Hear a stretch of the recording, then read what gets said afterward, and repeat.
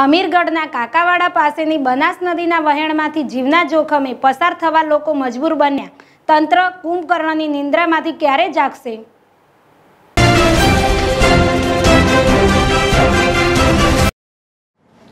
અમીરગઢ પાસેથી પસાર થતી બનાસકાંઠાની જીવાદોરી ગણાતી બનાસ નદી તેના કાંઠે રહેતા લોકો માટે આશીર્વાદરૂપ સાબિત થઈ છે. જ્યારે એક ગામ એવું પણ છે જેના માટે જીવના જોખમરૂપી સાબિત થઈ રહી છે.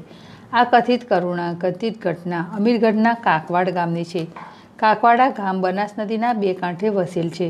માટે અરસપરસ અથવા તાલુકા મથકે જવા માટે બનાસ નદી પાર કરવી પડે છે. વરસાદના સમયમાં જ્યારે નદીમાં પાણી વહેતું હોય છે, ત્યારે લોકોને અવરજવર માટે કોઈપણ પ્રકારનો કોજવી કે પુલની વ્યવસ્થા ના હોય, નદીના વહેણમાંથી પસાર થવું પડે છે અને બાળકોને અભ્યાસ માટે સારામાં પણ પાણીમાંથી ખભે કરી જીવના જોખમે લઈ જવામાં આવે છે. કોઈ બીમાર હોય કે પછી ડેરીમાં દૂધ ભરાવા જવું હોય, તો પણ ગામ લોકોને જીવનું જોખમ લેવું પડે છે. આ વિશે અસંખ્ય વાર ઉચ્ચ કક્ષાએ રજૂઆત કરવા છતાં, નાના ગામડાના લોકોનો કોઈ નિકાલ આવેલ નથી. માટે બી ગામ લોકોના હવે એજ્યુકેટ તંત્રને પાઠ શીખવાડવાનો નિર્ણય લઈ, જ્યાં સુધી કોજવી અથવા પુલ નહીં બને, ત્યાં સુધી આગામી ચૂંટણીનો બહિષ્કાર કરવાની ચીમકીઓ ઉચ્ચારી રહ્યા છે.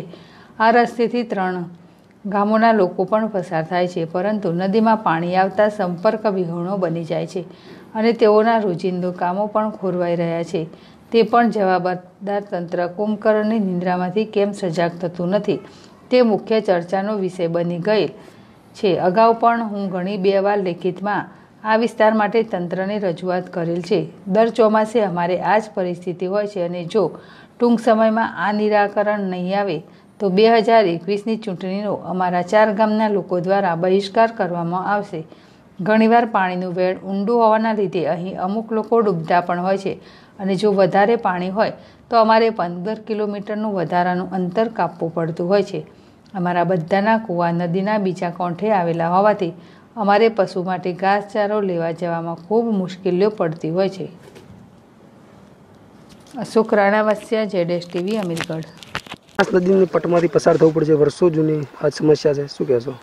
વર્ષો જૂની સમસ્યાની વાત કરીએ તો શરૂઆતની મારી જ હું વાત કરું કે મને અત્યારે ચોત્રીસ વર્ષ થઈ ગયા છે. હું જ્યારે સ્કૂલ ભણતો હતો, ગામમાં આવતો હતો, ત્યારે પણ એ જ હાલત હતી અને આજે પણ એ જ હાલત છે. જો છેલ્લા ચોત્રીસ વર્ષનો ઇતિહાસની વાત કરીએ ને, તો ચોત્રીસ વર્ષમાં પણ એ વખતે અમારા અહીંયા તે કોઈ પુલ કે કોજવે બન્યો નથી અને આજે પણ નથી બન્યો. હવે અમે એટલા કે અમારી એટલી ઉંમર થયા છતાં સુધી કે સરકારને જે આ ધ્યાનમાં નથી આવ્યું તો અમારા બાળકો પણ એ અત્યારે એ જ પરિસ્થિતિથી ભણવા જાય છે, જે અમે જતા હતા એ રીતે.